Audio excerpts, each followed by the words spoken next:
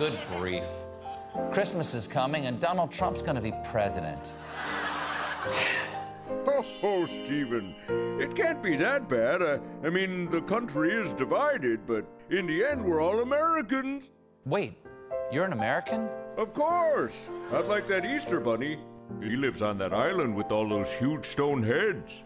So, does that mean you voted in the election? Of course I did. Santa, please tell me you didn't vote for Trump.